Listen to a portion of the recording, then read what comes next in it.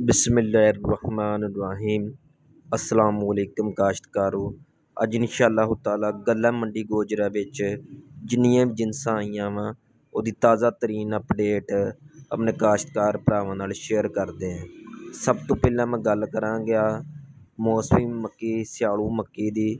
ਸਿਆਲੂ ਮੱਕੀ ਅੱਜ ਤਕਰੀਬਨ 2700 ਰੁਪਏ ਤੋਂ ਲੈ ਕੇ ਤੇ 3380 ਰੁਪਏ ਤੱਕ ਵਿਕੀ ਆ। ਜ਼ਿਆਦਾਤਰ ਮਾਰਕੀਟ ਸਿਆਲੂ ਮੱਕੀ ਦੀ ਤਿੰਨ ਹਜ਼ਾਰ ਰੁਪਏ ਤੋਂ ਲੈ ਕੇ ਅਤੇ ਬੱਤੀ ਸੌ ਰੁਪਏ ਤੱਕ ਰਹੀ ਆ। ਉਹਦੀ ਵਜ੍ਹਾ ਇਹ ਆ ਕਿ ਦਿਨ ਲੱਗ ਨਹੀਂ ਰਹੇ।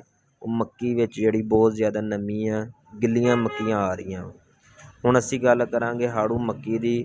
ਹਾੜੂ ਮੱਕੀ ਦੇ ਰੇਟ ਵਿੱਚ ਵੀ ਮਾਸ਼ਾਅੱਲਾ ਮਜ਼ੀਦ ਇਜ਼ਾਫਾ ਹੋਇਆ ਵਾ। ਹਾੜੂ ਮੱਕੀ ਵੀ ਅੱਜ ਤਕਰੀਬਨ ਤੇਤੀ ਸੌ ਅਤੇ ਅੱਸੀ ਰੁਪਏ ਤੱਕ ਵਿਕ ਗਈ ਹੈ ਹੁਣ ਅਸੀਂ ਗੱਲ ਕਰਦੇ ਹਾਂ ਬਾਜਰੇ ਦੀ। ਬਾਜਰਾ ਤਕਰੀਬਨ ਸਤਾਈ ਸੌ ਰੁਪਏ ਤੋਂ ਲੈ ਕੇ ਅਤੇ ਉਨੱਤੀ ਸੌ ਪੰਜਾਹ ਰੁਪਏ ਤੱਕ ਵਿਕਿਆ ਵਾ। ਹੁਣ ਅਸੀਂ ਗੱਲ ਕਰਦੇ ਹਾਂ ਤਿਲੀ ਦੀ। ਤਿਲੀ ਤਕਰੀਬਨ 11000 ਰੁਪਏ ਤੋਂ ਲੈ ਕੇ ਅਤੇ ਚੌਦ੍ਹਾਂ ਹਜ਼ਾਰ ਪੰਜ ਸੌ ਰੁਪਏ ਤੱਕ ਵਿਕੀ ਆ। ਜ਼ਿਆਦਾਤਰ ਮਾਰਕੀਟ ਤਿਲੀ ਦੀ 11000 ਤੋਂ ਲੈ ਕੇ ਅਤੇ ਪੌਣੇ 13000 ਰੁਪਏ ਤੱਕ ਰਹੀ ਆ। ਸਵਾਂਗ ਤਕਰੀਬਨ 5500 ਰੁਪਏ ਨੂੰ ਵਿਕਿਆ ਵਾ ਔਰ ਜਿਹੜਾ ਜੈਂਤਰ ਆ ਉਹ ਪੰਜ ਹਜ਼ਾਰ ਰੁਪਏ ਨੂੰ ਵਿਕਿਆ ਵਾ। ਸਫੇਦ ਚਰੀ ਜਿਹੜੀ ਆ, ਉਹਦਾ ਰੇਟ ਤਕਰੀਬਨ ਸਤਾਈ ਸੌ ਰੁਪਏ ਤੋਂ ਲੈ ਕੇ ਅਤੇ ਉਨੱਤੀ ਸੌ ਪੰਜਾਹ ਰੁਪਏ ਤੱਕ ਵਿਕੀ ਆ।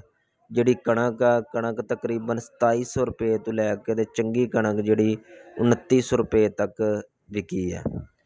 ਰਾਇਆ ਸਰੋਂ ਤਕਰੀਬਨ ਇਹਦੇ ਰੇਟ ਵਿੱਚ ਵੀ ਕਮੀ ਆ। ਰਾਇਆ ਸਰੋਂ ਤਕਰੀਬਨ ਅਠੱਤਰ ਸੌ ਰੁਪਏ ਤੋਂ ਲੈ ਕੇ ਅਤੇ ਬਿਆਸੀ ਸੌ ਰੁਪਏ ਤੱਕ ਵਿਕਿਆ ਹੁਣ ਅਸੀਂ ਗੱਲ ਕਰਦੇ ਹਾਂ ਸਦਾਬਹਾਰ ਲਾਲ ਚਰੀ ਦੀ। ਸਦਾਬਹਾਰ ਲਾਲ ਜਿਹੜੀ ਚਰੀ ਹੈ, ਇਹਦੇ ਰੇਟ 'ਚ ਵੀ ਕਮੀ ਆਈ ਹੈ। ਇਹ ਤਕਰੀਬਨ 4500 ਰੁਪਏ ਤੋਂ ਲੈ ਕੇ 4850 ਰੁਪਏ ਤੱਕ ਵਿਕੀ ਹੈ।